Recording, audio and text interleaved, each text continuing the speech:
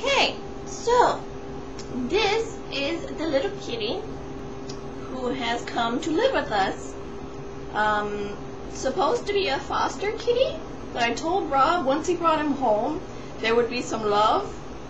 And um, he's a little teeny tiny baby, and he has all pink toes, and all he wants to do is play and bother me while I'm sitting here trying to work. Oh, and there he goes. So, um,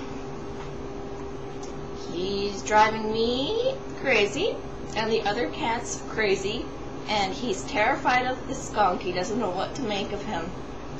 So, hi kitty. Anybody want a little kitty?